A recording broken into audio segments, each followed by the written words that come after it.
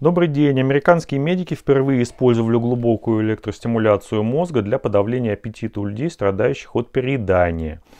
А, опубликованы результаты в Nature Medicine. А, электрическая или магнитная стимуляция активности мозга может подавлять симптомы болезни Паркинсона, булимии, снижать тягу к вредным привычкам, а также улучшать арифметические языковые способности добровольцев. Ученые применили терапию и подавили аппетит у двух жительниц Соединенных Штатов, страдающих от ожирения. Конечно, это совершенно недостаточно для того, чтобы делать какие-то далеко идущие выводы, но тем не менее такой результат есть. А, ну и, соответственно, тут описывается более подробно а, сам дизайн исследования, что, в общем-то, не так важно, потому что объем его очень незначительный. А что можно сказать по поводу транскраниальной электростимуляции, транскраниальной магнитной стимуляции головного мозга? На самом деле у нас тоже в стране эти методы имеют место быть. Транскраниальная электростимуляция особенно активно развивалась в Питере а, и достаточно уже давно, поэтому, поэтому по этому методу, скажем так, набрано гораздо больше информации. По транскраниальной магнитной стимуляции а, мы немножечко отстаем от Запада, скорее всего будем отставать еще больше. Вот, а, ну, тоже определенные результаты есть. А, я больше могу сказать про транскраниальную электростимуляцию. А, там действительно достаточно широкий спектр применения. Это и обезболивание, это и повышение иммунитета, что очень-очень-очень само по себе спорно. В принципе, разговор о повышении иммунитета – это, так скажем, красная тряпка – для сторонников э, доказательных методов, потому что измерить это крайне тяжело. Ну, и они правы в этом, безусловно.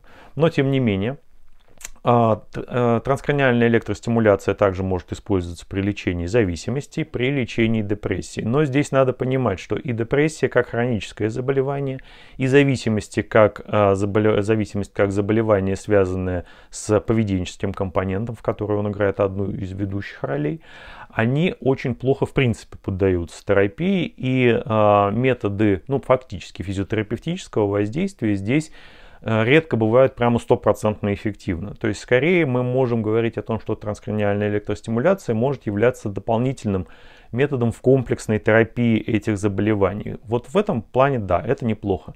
Но, к сожалению, э, ходить куда-то на эти сеансы, платить за это, ну, поскольку в УМС этого, по-моему, вообще нету, платить за это достаточно ощутимые деньги и получать там 10, 15, 20 процентов улучшения, ну, у кого есть время и деньги, да, у кого нет, конечно, это делать не будет. Э, весьма печально, что у нас раздолбили э, физиотерапевтические отделения в поликлиниках. Вот там бы это могло иметь очень широкое применение, очень большую популярность. И вот как раз вместо того, чтобы э, заходить в кабинет ко всем врачам что-нибудь спросить, завсегдатые поликлиник могли бы получать вот эти процедуры, ну, с определенной периодичностью, естественно, при отсутствии пока противопоказаний. А транскраниальная магнитная стимуляция считается более интенсивным методом воздействия и в том числе методом преодоления резистентности депрессии к антидепрессантам. Как еще раз повторю, что здесь мы несколько отстаем, у нас а, достаточно слабомощные, слабосильные, слабомощные установки для транскраниальной магнитной стимуляции в основном в стране присутствуют, поэтому их эффективность не очень высока. А, в целом же а, есть положительный опыт по преодолению резистентности депрессии, и это очень интересно, потому что другим вариантом преодоления резистентности депрессии является э, электросудорожная терапия, что, конечно, гораздо более травматично и дискомфортно для пациента. А так все-таки э, более мягкий, более а, щадящий метод, который, тем не менее, тоже дает неплохие результаты. Ну и вот сейчас еще по поводу Паркинсона и переедания, соответственно, тоже можно это направление рассматривать. Вообще тема э, транскраниального воздействия на мозг э, электричеством либо магнитным полем, она чрезвычайно интересна. То есть это колоссальные возможности без э, применения фармакологии. Но, к сожалению, к сожалению, пока что вот результатов таких вот прямо глобальных здесь достичь сложно, но, как я уже сказал, 10, 15, 20 процентов улучшения это вполне реально то, что можно получить. Дополнительную информацию вы можете найти на нашем сайте mednauka.net и на нашем канале на портале youtube.com. Всего вам хорошего, до свидания.